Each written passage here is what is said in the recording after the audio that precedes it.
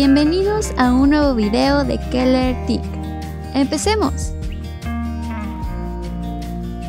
Hola a todos, espero que estén muy bien. Mientras Netflix está tratando de expandir su presencia en Asia, está tratando de incluir cada vez más contenido de toda Asia que tengan personas interesadas. De los diversos tipos de contenido que ofrece los países asiáticos, los K-dramas desempeñan uno de los papeles principales, y este mes tenemos dos de las historias más importantes que nos llegan a través de Netflix. Sisyphus Damit y Vincenzo.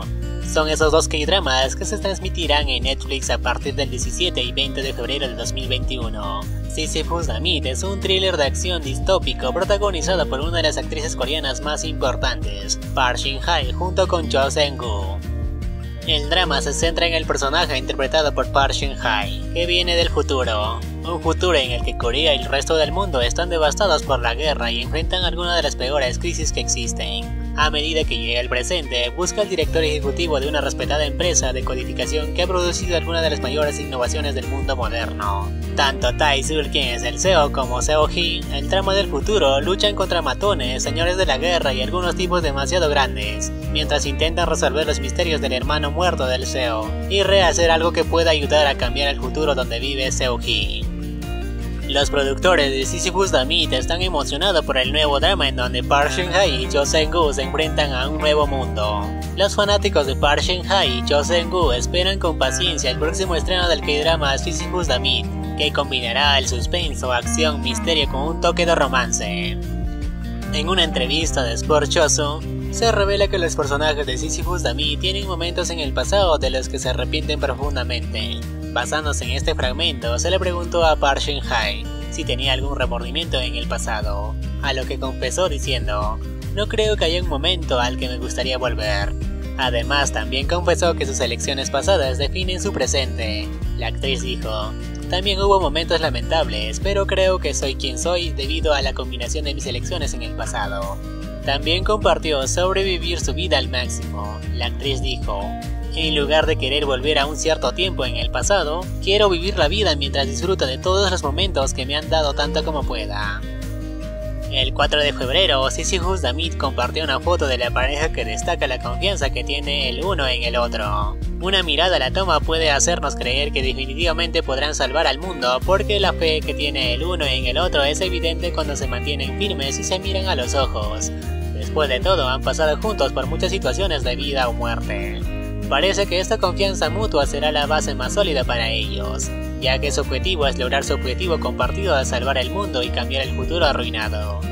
El drama marcará el aniversario número 10 de la cadena de televisión JBC, así como el regreso a la actuación de Park Shin-hye, una de las celebridades más aclamadas y queridas por los fanáticos de estas producciones. Sisyphus Damit llegará a las pantallas el próximo 17 de febrero.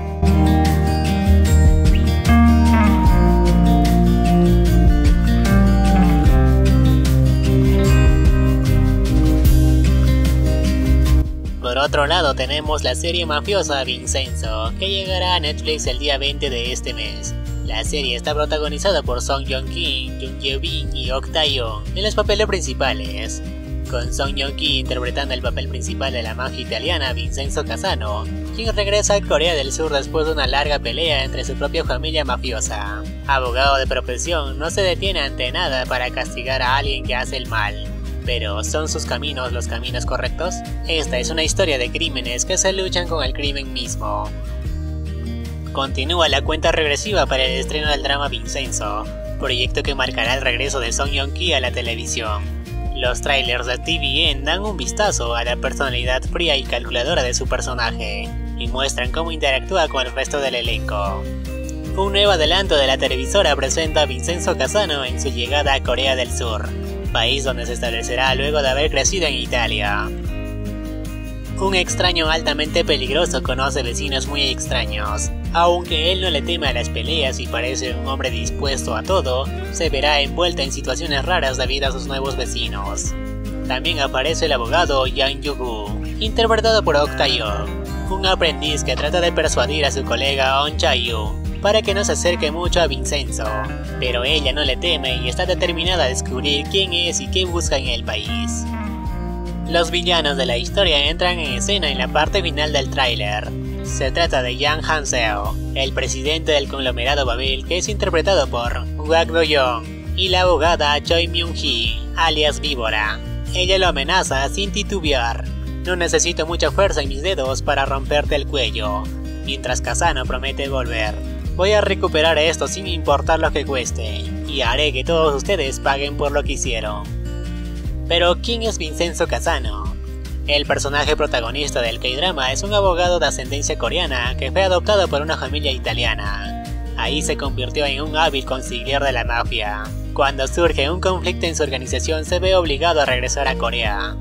Vincenzo no le teme usar los métodos más crueles para castigar a los villanos. Sin embargo, cuando debe negociar hace uso de su encantadora sonrisa. Definitivamente no es un héroe clásico. Son Yong-ki en la presentación de su nuevo rol dijo, me sentí emocionado al ver el guion. Es una historia predecible sobre el bien triunfando sobre el mal. El método por el que Vincenzo castiga a los malvados es algo fuera de lo usual. Creo que los espectadores podrán sentir esa tensión y catarsis. El actor agregó, aunque Vincenzo tiene toda la apariencia de ser coreano, es italiano hasta el hueso. Como siempre vivió como un extranjero en la oscuridad, es una figura solitaria que ni siquiera se atreve a confiar en las personas cercanas a él. El estreno de Vincenzo por TVN se dará el 20 de febrero y tomará el horario del drama Mr. Queen. También ha sido adaptado por Netflix y se emitirá el mismo día que en Corea del Sur. Ya está en el catálogo de la región Latinoamérica. Dos grandes estrellas como Song Joong-ki y Park Shin-hye peleando por los índices de audiencia este mes, definitivamente será difícil.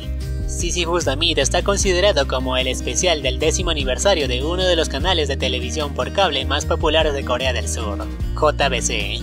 Estos dos dramas definitivamente se enfrentarán, ya que no solo las estrellas tienen un gran número de seguidores, las historias también son algunas de las más poderosas que se exhibirán como dramas coreanos.